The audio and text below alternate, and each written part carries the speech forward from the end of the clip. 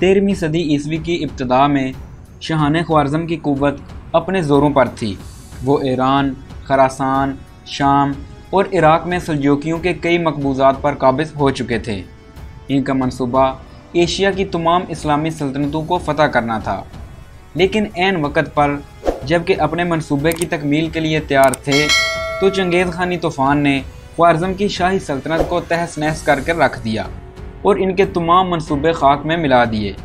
इस सल्तनत की तबाही के बाद तमाम तुर्क कबाइल जनूब की तरफ़ भागे।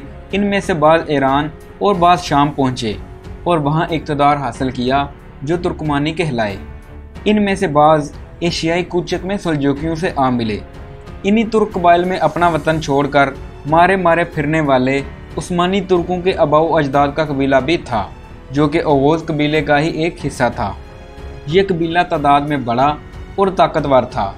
इसका नाम काई कबीला था और इस कबीले के सरदार का नाम सुलेमान शाह था। एक रिवायत के मुताबिक, यह खरासान के शहर माहान में आबाद हुआ, लेकिन मंगोलों के हमलों के बायस यहाँ से निकलकर मगरब की जानब हिजरत की। दोस्तों, सुलेमान शाह के चार बेटे थे, सुंगुरतकीन, गुंदोगदो, अरतुरुल और दुंदार। जबकि सुलेमान शाह सल्तनत उस्मानिया या खिलाफत उस्मानिया के पहले हुक्मरान और इसकी बुनियाद रखने वाले गाजी उस्मान खान अव्वल के दादा थे, जिनका ताल्लुक उगोज तुर्कों से था। दोस्तों, सुलेमान शाह तेरहवीं सदी ईस्वी में हिजरत करके ईरान आए और वहाँ से अपने कबीले के साथ अनातोलिया, यानी मौजूदा तुर्की की जानब रवाना हुए। यहाँ उस वक़्त सलजोकी सल्तनत कायम थी।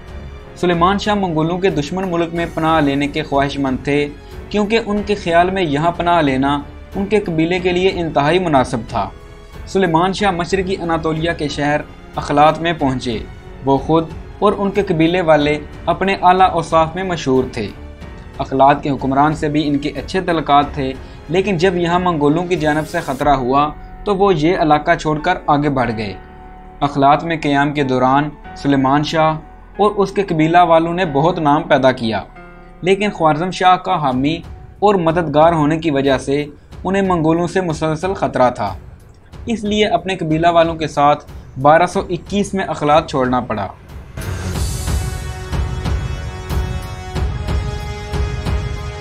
दोस्तों, जिस ज़माने में सुलेमान शाह और उनके आदमी अनातोलिया के शहर अखलात में मुकीम थे तो इस दौरान उन्होंने चंद नुमाया काम किए। यानी सबसे अव्वल अखलात में अमन अमान कायम किया और शुमाल के मसीही, यानी सलीबी दहशत पसंद ग्रोह, अखलाक के इलाके में आकर लूट मार करते थे। सुलेमान शाह और उनके साथियों ने इनका खात्मा किया। इसके साथ शमाल की बाजनतीनी सल्तनत से भी, जिसका मरकज़ तरबजोन था, उनसे टक्कर ली और उन्हें पसपा किया। दोस्तों, बाज़ मौरखीन के ख्याल में, इस दौरान उन्होंने सलजोकी सल्तनत की मदद भी की। दोस्तों अखलात के बाद सुलेमान शाह ने अपने आदमियों के साथ शाम के मशहूर शहर हलब की जानब हिजरत की, जहाँ उस वक़्त सुल्तान सलाहुद्दीन अयूबी के पोते अल अज़ीज़ की हुकूमत थी। थोड़ा ही अरसा यहाँ वहाँ क्याम किया, लेकिन अभी सफ़र हिजरत जारी था कि सुलेमान शाह दरिया में डूबकर जहाँ भाग हो गए। कहा जाता है कि यह दरिया फ़रात था।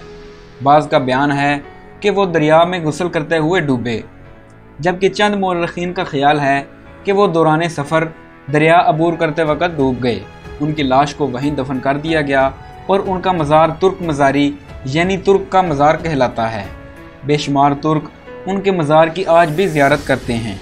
दोस्तों जोग्राफियाई तौर पर तुर्क मज़ारी 2015 तक शाम में वाक़ था, और तब तक माहदा लोजान के तहत तुर्की को उनके मज़ार पर परचम नस्ब करने और एजाज़ी गार्ड तैनात करने की इजाज़त थी, जबकि शाम में खाना जंगी और दौलत इस्लामिया के जंगजुओं की वजह से इस मज़ार को अब तुर्की के अंदर मुंतकिल कर दिया गया है, क्योंकि ख़तरा था कि इस पर वहाबियत नवाज़ दौलत इस्लामिया हमला कर देगी, जिसकी वजह से तुर्की को मजबूर होना पड़ेगा कि वो फौजी कार्रवाई करे।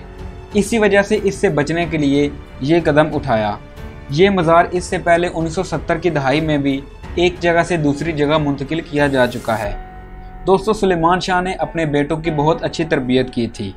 और यही वजह है कि सुलेमान शाह के तीसरे बेटे अरतुरुल गाजी ने आलम इस्लाम में खूब नाम कमाया और एक नई मुसलमान सल्तनत के क़्याम की जदोजहद के लिए अपनी सारी ज़िंदगी वक्फ कर दी।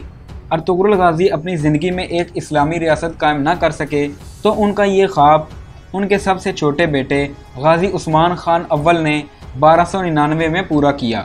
अगर आपको वीडियो इन्फॉर्मेटिव लगे तो इसको अपने दोस्तों में शेयर कीजिए लाइक कीजिए और इसके साथ साथ हमारा चैनल सब्सक्राइब कीजिए। तो मिलते हैं एक नई और इन्फॉर्मेटिव वीडियो के साथ। तब तक के लिए अल्लाह हाफिज़।